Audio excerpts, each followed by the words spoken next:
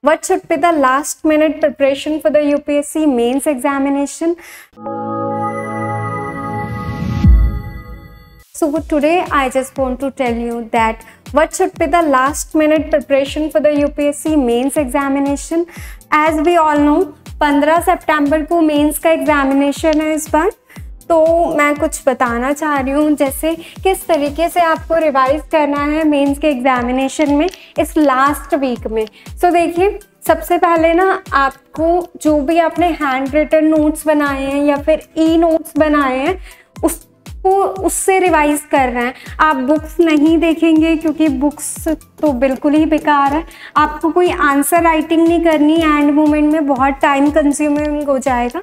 जो भी आप जितना मैक्सिमम रिवाइज कर सकते हैं, क्योंकि हमें पता है कि हमें एटलीस्ट अराउंड 15 टाइम्स तो रिवाइज करना पड़ता है, ताकि हम कोई भी फैक्ट भूले ना। और जितने ज़्यादा हम एग्जाम्पल्स पुटअप कर सके अपनी आंसर राइटिंग में, उतना ज़्यादा बेटर होगा।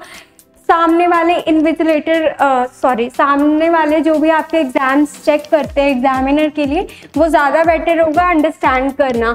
जो भी आपने मेंस की टेस्ट सीरीज़ लगाई होगी, जो भी आपकी मेंस की टेस्ट सीरीज़ होगी, उसको आप एनालाइज करेंगे। ना कि सिर्फ़ एनालाइज करेंगे साथ ही जो भी आपने एनालाइज करा है, उसको लर्न करेंगे। क्योंकि वहाँ से आप factual data as well as example अपने मेन जो भी एग्ज़ाम है मेंस का, उसमें आपके हेल्पफुल होएगा बहुत ज़्यादा। इसके अलावा टिप्स एंड ट्रिक्स कुछ है, देखिए रिवाइज तो आप करेंगे ही करेंगे, वो तो ज़रूरी भी है। क्योंकि यूपीएससी का एग्ज़ाम है, बीस क्वेश्चंस आते हैं मेंस के एग्ज़ाम में। सबको ही पता होगा। ट्वेंटी क्वेश्चन होते हैं, जिसमें से आपको ट्वेंटी के ट्वेंटी सही करने हैं ताकि आप अप टू मार्क आए रिज़ल्ट के। अगर आप एक भी क्वेश्चन स्किप करते हैं तो इतना ज़्यादा कंपटीशन है कि रिज़ल्ट आने की संभावना बहुत कम हो जाएगी। सारे ही क्वेश्चन के आंसर टाइम लिमिट में करना। आपको पता है मेंस के पेपर थ्री थ्री आवर्स के होते हैं, एक दिन में दो भी होते हैं बहुत बार। तो डेट शीट के अकॉर्डिंग सबके ही दो पेपर होंगे एक दिन में। थ्री थ्री आवर्स के होंगे। बहुत हेक्टिक ज़रूर होगा, इसलिए टाइम लिमिट में करना वर्ड लिमिट में करना। अगर 150 नंबर का 150 वर्ड्स का क्वेश्चन है तो 150 वर्ड्स में 250 वर्ड्स का है तो 250 वर्ड्स में।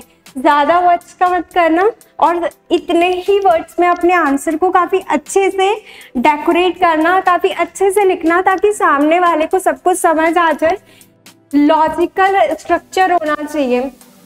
लॉजिकल स्ट्रक्चर से मतलब है, आपने अपने आंसर में इंट्रो लिखा। इंट्रो के बाद आप डायग्राम बनाएँगे साइड में और जो भी उसका बॉडी होगा या उसके बाद एग्ज़ाम्पल होगा। आप वे फॉरवर्ड लिखेंगे। डायग्राम बहुत ज़्यादा ज़रूरी है, आप सबको ही पता होगा। लेकिन तब भी मैं दोबारा बता रही हूँ, देखो, लिखना मैटर करता है ऑफकोर्स लेकिन लिखते तो सब है ना। डायग्राम बनाओगे, कुछ अलग दिखेगा पेपर में, और जितना अट्रैक्टिव होगा, उतना टीचर को ज़्यादा समझ आएगा। जो भी आपका एग्जामिनर कॉपी चेक कर रहा है। स्पीड एंड एक्यूरेसी मेंटेन रखना। वो तो आपने टेस्ट सीरीज़ लगा रखी है तो इतना तो आपको हो ही गया होगा कि स्पीड एंड एक्यूरेसी बन सके। सिंपल लैंग्वेज में आंसर लिखना, कोई बहुत ज़्यादा वो कैब मत यूज़ कर लेना इंग्लिश की, जो अगले को गूगल करना पड़े जिसका आंसर ढूँढने के लिए। और प्रूफ रीड करना अपने आंसर को।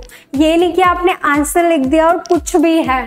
उसका कुछ सेंस बनना चाहिए। आप अपने आंसर को प्रूफ रीड ज़रूर करना, अगर टाइम मिले तो।